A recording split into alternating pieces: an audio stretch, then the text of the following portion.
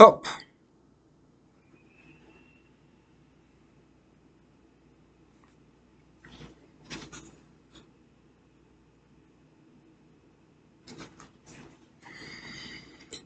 After Sarah went to bed, she saw a ghost. It was sitting on her dresser, staring at her through two black holes where its eyes had been. She shrieked, and her mother and father came running.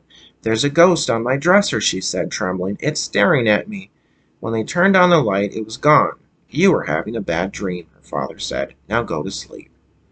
But after they left, there it was again, sitting on her dresser, staring at her. She pulled the blanket over her head and fell asleep. The next night the ghost was back. It was up on the ceiling, staring down at her. When Mary saw it, she screamed. Again her mother and father came running. It's up on the ceiling, she said. When they turned on the light, nothing was there. It's your imagination, her mother said, and gave her a hug. But after they left, there it was again, staring down at her from the ceiling. She put her head under the pillow and fell asleep. The next night the ghost was back. It was sitting on her bed, staring at her. Sarah called to her parents, and they came running. It's on my bed, she said. It's looking and looking at me. When they turned on the light, nothing was there. You're upset over nothing, her father said.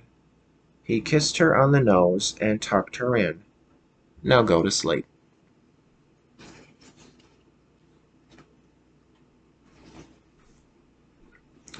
But after they left, there it was again, sitting on her bed, staring at her.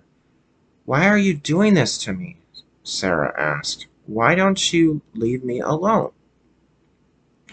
The ghost put its fingers in its ears and wiggled them at her.